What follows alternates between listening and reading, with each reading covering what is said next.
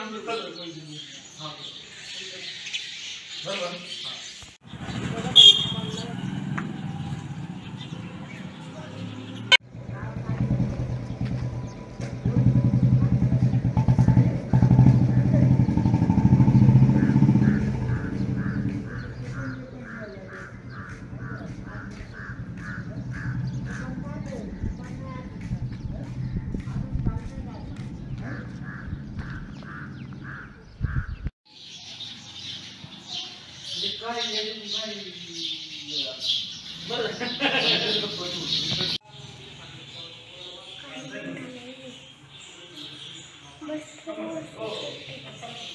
रामेश्वर आपले मोठे एक्सप्रेस आहे ना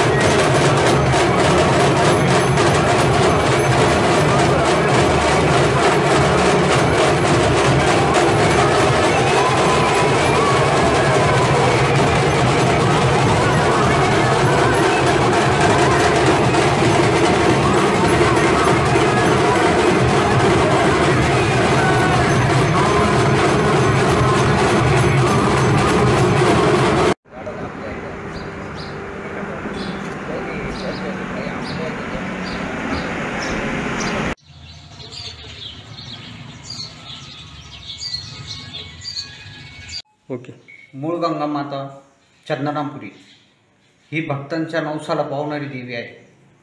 त्यामुळे तिचा महिमा सर्वत्र सर्वदूर पसरलेला आहे. जर कोणाला काही सर्पदंश वगैरे काही झालं तर लोक इथं घेऊन येतात व ते बरे होतात अशी आख्यायिका सांगितली जाते. ही देवी सर्व नवसाला पावते त्यामुळे सर्वांनाच त्याचा लाभ होतो. व हे ग्रामदैवत असल्यामुळे याचा महिमा अगाध आहे. बस तु तुमचं नाव सांगा ना. मी संजय गोविंद कुलकर्णी इथं पुजारी म्हणून काम करीत आहे. एक सहा वर्ष झाली मला इथे सेवा करायची संधी मिळाली. या संधीचं मला अभिमान वाटतो. ओके. मी पोलीस पाटील चंदनापुरी. गेली वीस ते एकवीस वर्षापासून ह्या पदावरती काम करतो. या मुळगंगा मातेचा महिमा हा पुरातन आणि महाभारतामध्ये ह्या देवीचा ह्या मातेचा उल्लेख आहे. ह्या देवीची स्थापना ह्या चंदनापुरी गावामध्ये चंद्रहर्ष राजाने केलेली असून त्या चंद्रहर्ष राजाला ही देवी कशी प्रसन्न झाली? काय प कशा त्यांनीची स्थापना इथे का केली? हे सर्व लिखाण हे महाभारतामध्ये पाहायला मिळालं.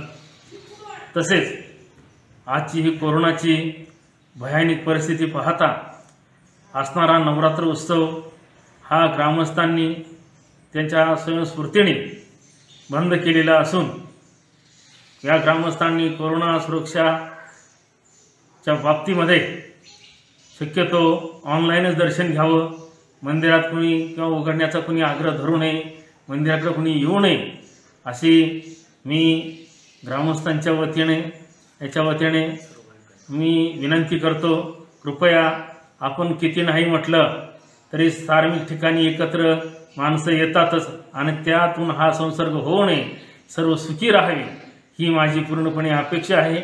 आणि यानंतर कोरोना महामारी गेल्यानंतर देवीचा उत्सव येत्या येणाऱ्या सालावादाप्रमाणे अतिशय उत्स्फूर्तपणे त्या साजरा केला जाईल आणि केला जातो पण. आणि दुसरी गोष्ट अशी का आत्तापर्यंत उत्साहामध्ये कधीही कुणाला कुठल्याही प्रकारचं गालबोट लागलेलं नाही. माझं गाव एक दिलाने या उत्सवामध्ये सहभागी होत असतं. हीच आमची आख्यायिका आहे. एवढं बोलून माझे दोन शब्द संपवतो.